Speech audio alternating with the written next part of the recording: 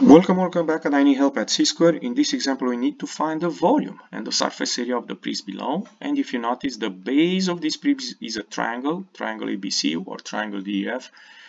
We call this a triangular prism. The volume of this triangular prism is going to be area of the base times the height. In fact, that formula works for any prism.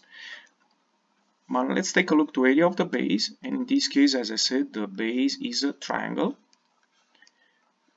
The area of a triangle is one half times the base of the triangle times the height.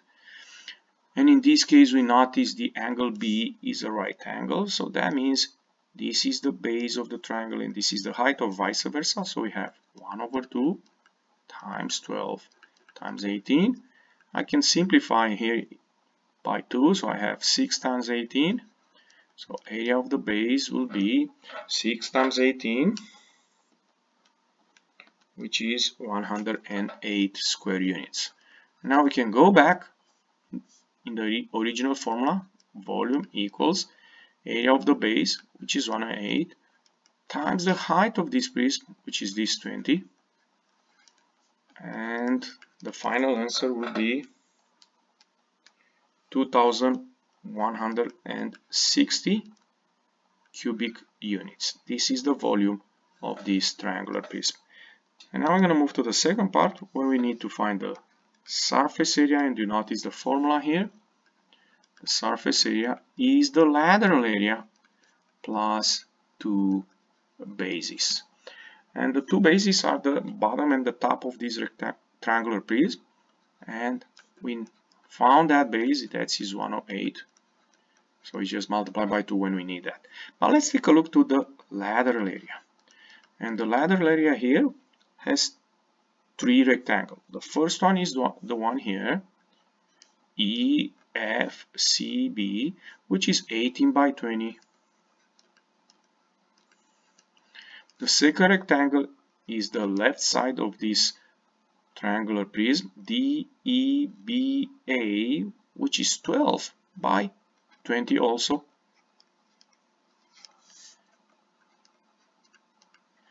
And we have one more face the front one which is 20 times this side AC if you want to call it like that which you do not know it. I'm going to call it X.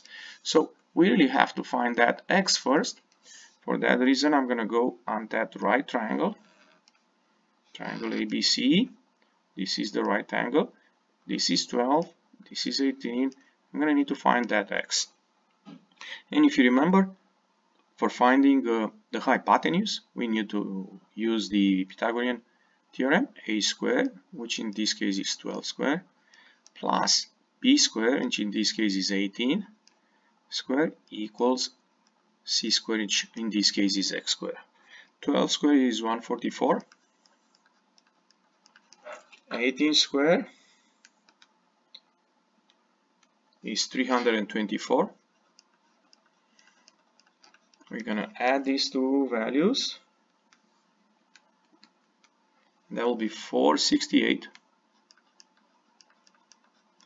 and the last step here I'm gonna take square root of 468